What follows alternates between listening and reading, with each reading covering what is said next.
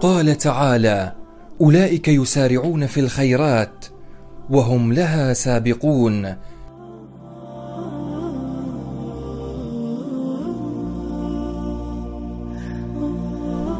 هديتك من الباقات الرمضانية المتنوعة. تصل إلى الله سبحانه وتعالى قبل أن تصل إلى مستحقيها. تشمل الباقات بناء المساجد حفر الآبار إفطار صائم بناء المنازل علاج المرضى وإطعام الطعام.